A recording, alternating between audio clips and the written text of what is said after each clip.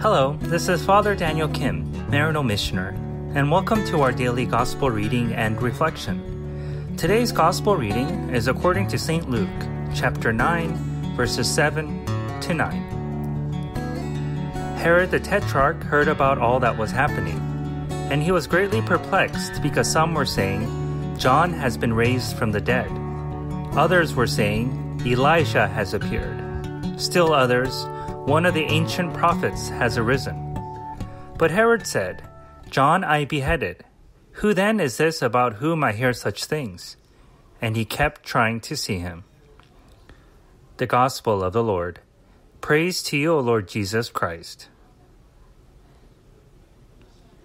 We hear today that Herod was very anxious to meet Christ, not out of any wholesome or edifying motivations, rather to quell the disquiet in his heart which rattled its way back to life after hearing the news that maybe John the Baptist, whom he killed, came back to life to haunt him. So, in other words, Herod did not care about all the multitudes of people Jesus was curing, nor the good news that were uplifting the hearts of the hearers of Christ's proclamation. Rather, it was purely out of selfish motives, mixed in with undercurrents of intrigue and subterfuge. Now, this begs the question what are our motivations when desiring to meet Christ?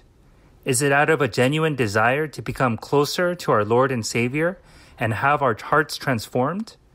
Or is it similar to that of Herod's, laden with undercurrents that only serves our own interests? Perhaps it falls somewhere in between, depending on where we find ourselves in life at the moment and whatever circumstances we're facing regardless of what the initial motivations may be. As long as our hearts are not hardened beyond change, any encounter with Christ will produce life giving fruit.